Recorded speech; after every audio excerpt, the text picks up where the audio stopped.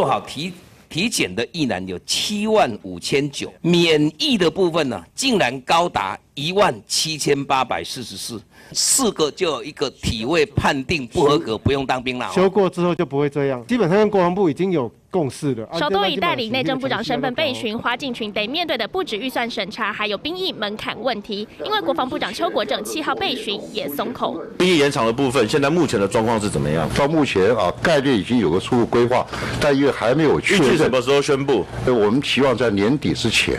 可能延长到一年。邱国正表示，希望在十二月底前公告，但总统府回应，关于义务役役期仍在评估，目前没有确定的时程规划与定案。朝野立委也认为重大议题。应该审慎考量。啊，像吴一龙提到的那个全民防卫的意识，哈，我觉得还蛮好的。也就是说，四个月的训练到底够或不够？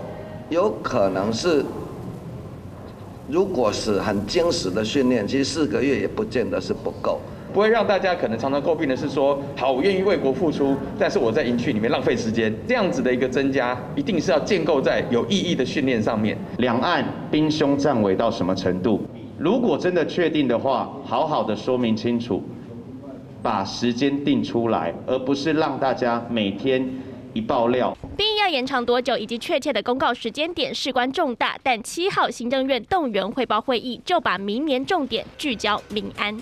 由苏贞昌亲自主持，主张二零企图以武力并吞我国，请国防部以及相关部会以俄乌战争为借鉴，引领各种战时想定状况模拟演练。而最新美方则提早交付改良版反辐射飞弹，不论是军武或战力将全面提升。三立新闻简王请魏文轩 S N G 小组特别报道。